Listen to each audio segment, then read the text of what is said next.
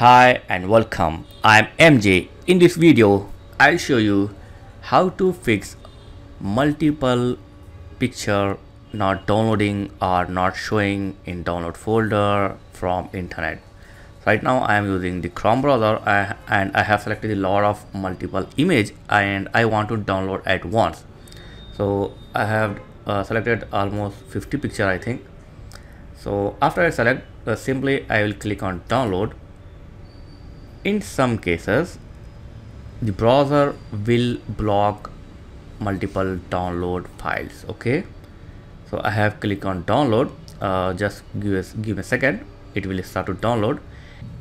Okay. I'm going to save it.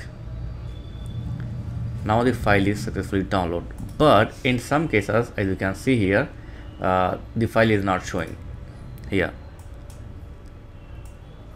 so file is downloaded but it's not accessible. So unconfirmed download file. So how to fix this? The simple thing is uh, go to this three dot and then click on download. And here you will see the option for to download. Just click on keep and select on keep anyway. And that's it. Your file will be downloaded and will shows here. As you can see so all my picture is downloaded. Okay? If you get message allow multiple file to download then simply click on allow and that's it. Your multiple file will be downloaded.